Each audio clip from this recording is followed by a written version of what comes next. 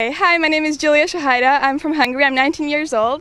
I'm currently a first year university student. I study international business, and I have two horses here right now.